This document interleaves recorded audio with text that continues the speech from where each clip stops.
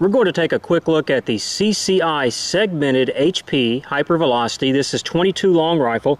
It is a segmented hollow point, moving along pretty quickly, 1,640 feet per second, 32 grains. My 10 shot average out of the Ruger 1022 20 inch barrels coming in a little bit lower at 1,607 feet per second.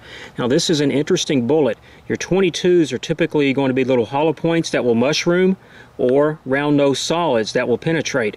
This is uh, category 3 I guess you could say. Of course you got your little 22 shot shells also. This is a segmented bullet. It is designed to break apart on impact.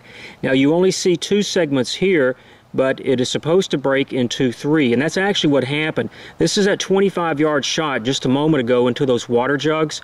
It blew apart jug number one, but then a segment of that flew out the side and is AWOL. So we have one that's missing, laying in the yard somewhere, but we're going to try this in a ballistic gel block, and I hope to capture all three pieces.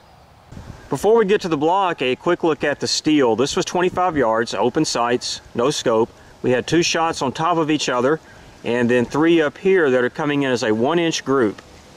On the 50 yard target, my point of aim was actually in the white, so this is shooting high for me in the Ruger 1022. Have a couple of flyers up here, but these three are coming in between an inch and an inch and a quarter. So there is some accuracy potential, especially if you have a scope.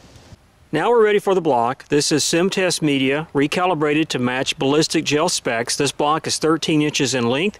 It weighs 16 pounds. BB calibration from 10 feet was 3.6 inches Air temp is 54 degrees and the block temp is 64. We're going to tag this from 25 yards with the Ruger 1022.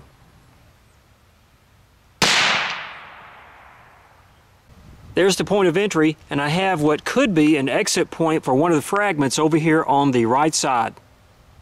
Here's what happened inside the block. I'll give you a close-up of these three segments in just a moment. This is the left side of the block as I was cutting, point of entry here, and you see the segmentation start to take place about three quarters of an inch to an inch in.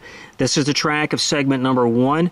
This traveled four and three quarter inches, one inch to the left, and then one and a half inches up, relevant to the point of entry in what would have normally been a straight track, okay? Here's number two. That traveled five and a quarter inches, one and a quarter inch to the left, and then one and a half inches down from the point of entry, down to the, or over to the right side of the block, point of entry, and this one traveled pretty much straight, but it did deviate to the right one and a half inches, and it traveled a depth of five and one quarter inches. All three segments weighed together is coming in at 30 grains.